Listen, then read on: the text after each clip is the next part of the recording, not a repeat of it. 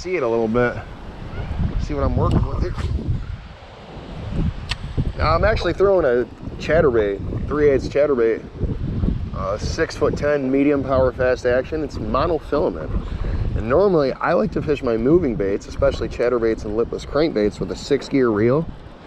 But this is a high speed. That high speed with the monofilament is gonna help me avoid a lot of these nasty weeds and stuff. I'm sure you can see a little bit right here, but can't see all of it. So this will definitely help. See, that's another thing too, is I always got my, uh, well, a rod for a bottom bait. You can see I got this Curado 7 foot 2 medium heavy power fast action. And you see how uh, the top of the cork is worn down. I'm about to change this chatterbait, but see how this is how it should be, and this gets worn. This is the only rod I've had that happen to, and I've even had people ask me, forgive me about the wind, uh, why don't I use the high-end gear anymore, like the, the G Loomis and the high-end Shimano? I do. I used the Metaniums, Bantams, NRXs, IMXs, E6Xs, and all that stuff for like three, four years. That's all I did was fish with it. So I said this year, 2020, especially with everything that's going on, I'm gonna beat the bank with either mid-grade or some low-grade setups. Now for like spinning and stuff on like St. Clair, I still did the high end, but if you guys are wondering, I still have all the high-end gear. I'm gonna fish with it either at the end of this year or next year. I simply just wanted to switch for a while and get a more, uh, uh, better variation in content. That, that's a big part of my channel. But anyway, let's take out the box for the the bladed jigs and moving baits. I think I'm gonna switch to a, some type of green pumpkin. Yeah, green pumpkin or white.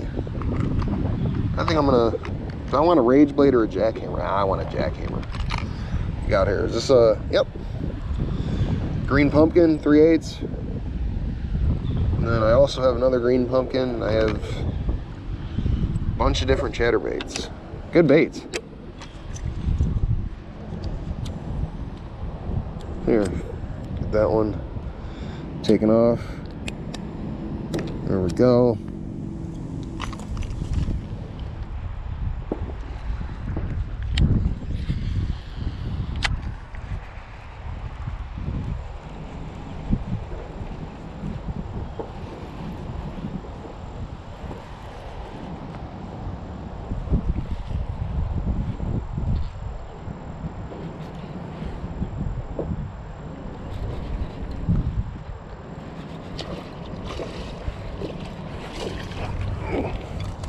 Oh, came off.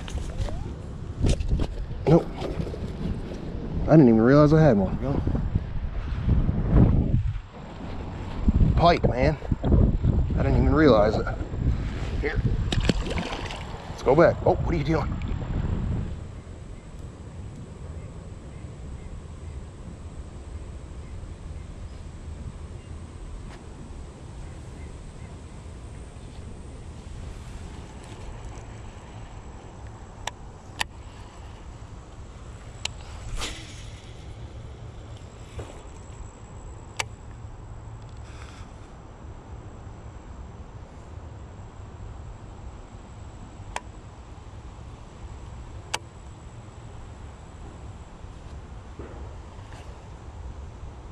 Bite. That was for sure a bite.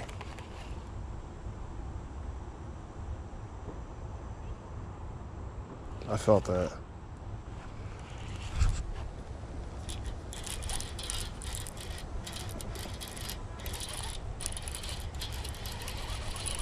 He's running right at me.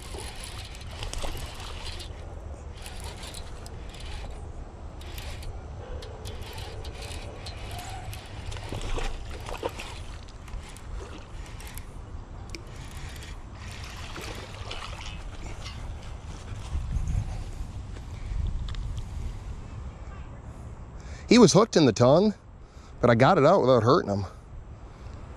He fought really good.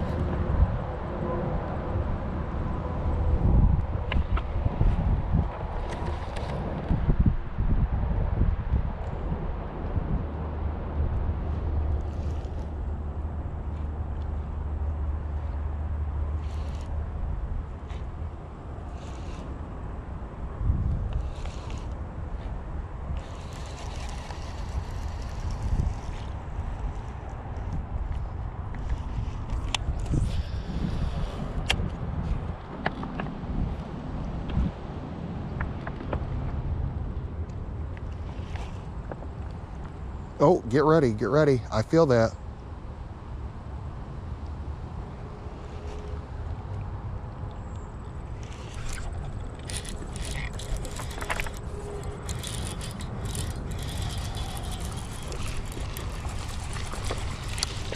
No, you don't. No, you don't.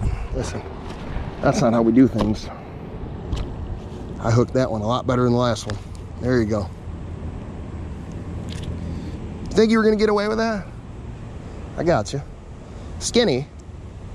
Uh, the last fish was probably, I don't know, a pound and a half. This is probably, probably a pound, pound and a half. It's still fun. Maybe we can get another. Yep.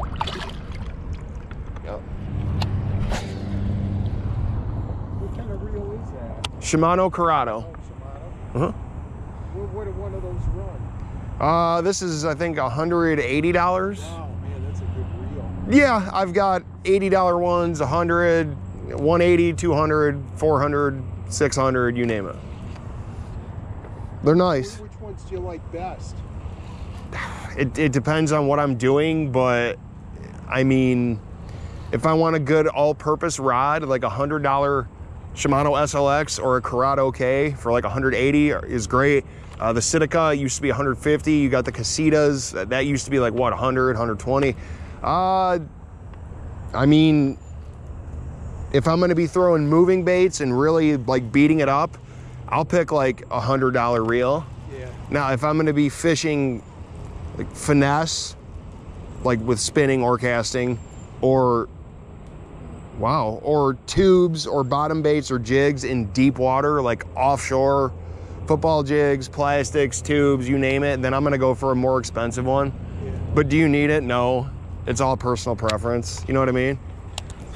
Have you gone any other places fishing this year? Oh, of course. Lake St. Clair, a bunch of other places. Oh, did you? Yeah, I travel within state. Oh. Mhm.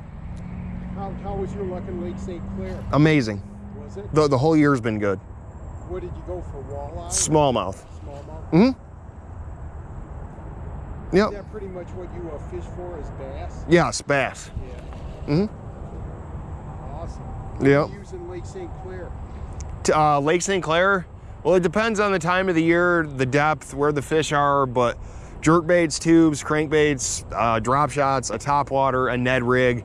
But what is my favorite uh, tube and a jerk bait? Because not only do I catch fish consistently, I seem to catch bigger fish with the tube. Yeah, but when it gets like hot, I'll throw like a drop shot or a Ned rig, or I'll just fish for something else, or wait until it's not hot anymore. Invested in fishing, man. Yeah, absolutely. I love fishing.